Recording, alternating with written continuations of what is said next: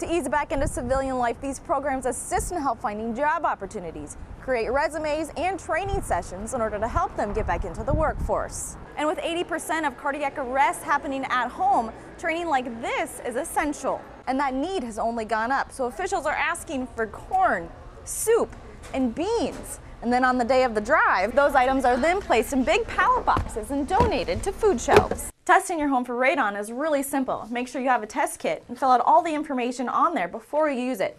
Place a sponge inside of it and hang it up for three days. Then as soon as you're done, take the sponge out, seal it up, and make sure you send it in right away. It's already tough for veterans to find work in the U.S. I figured, ah, I'll find a job quick. It won't be that bad.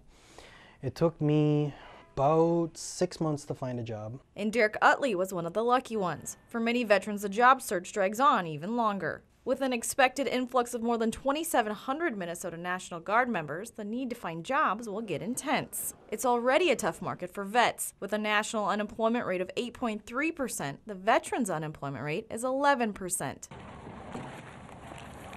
It's hard for many who work with vets to understand why it's so tough for them to find jobs. Today's veterans get high level training in working with others in tense situations, often work with complicated machinery, and many receive computer and other high tech experience. These veterans are coming back with these skills, which are I believe are marketable. Sometimes the difficulty in finding a job is complicated by the challenge of adjustment to life at home. That transition from military life to civilian life uh, for some people is very difficult. To help ease that transition and get veterans ready to re enter the workforce, a new program has been implemented. Operation Red Bull is designed to help currently deployed troops prepare to enter into the civilian workforce before they even set foot on American soil. We're starting to work on their resumes, giving them labor market information, job search, and stuff like that while they're over on their deployment. To ease back into civilian life, these programs assist in help finding job opportunities, create resumes and training sessions in order to help them get back into the workforce.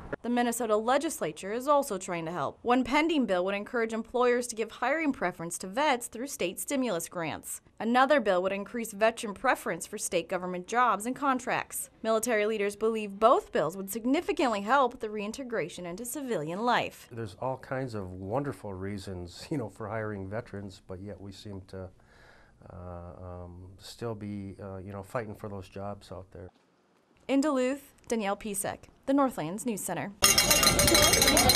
It's the fourth largest ski race in the world. We will have 9,700 skiers on the start line for our three races. Over 800 of those skiers have competed in the Birkie for more than 20 years.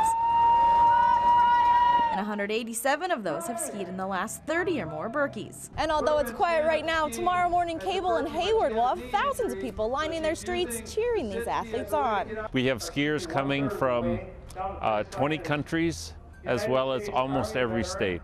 Bringing 25,000 people into a community of only 2,000. As you can imagine, it's going to be packed. But local businesses aren't complaining. That affects our economy by generating between four and five million dollars just on race week. We have a lot of room for spectators, so it's um, it's really busy. It's beyond belief as far as numbers. Officials are expecting a record number of people flocking to this year's Birkie. Organizers are pulling out all the stops to make this a top-notch event, bringing in none other than Norwegian former cross-country skier and three-time Olympic gold medalist Vegard Ulvang, who will be competing in Saturday's race. Ulvang already tested out the trail and gave his approval. It fits perfect to this kind of race, and, and I, I can't imagine that it's such a trail anywhere in the world, actually a trail special to the world and to the community. In Hayward, Danyel Piecek, the Northlands News Center. He's been gone since last November. 14 year old Caitlin Pierce and her 11 year old sister Madison haven't seen their dad, Army Staff Sergeant Ryan Pierce, in a year. We visited the kids at school today in Iron Junction, ostensibly to talk with them about parents off at war. How much do you, do you miss your dad?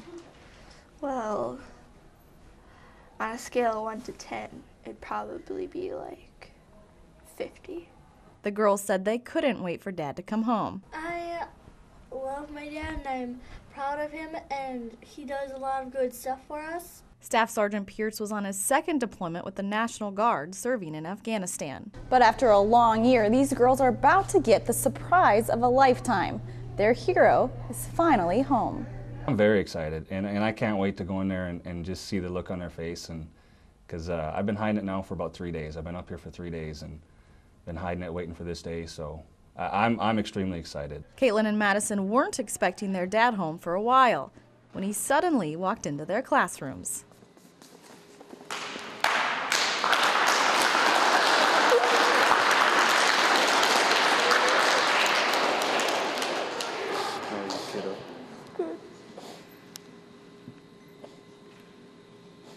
I was looking for Maddie.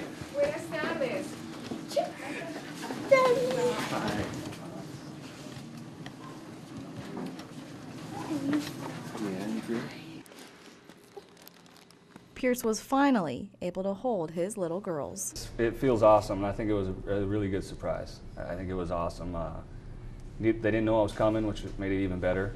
Um, a true surprise, I guess. So, but it, it's this this is where it's at right here. It's good.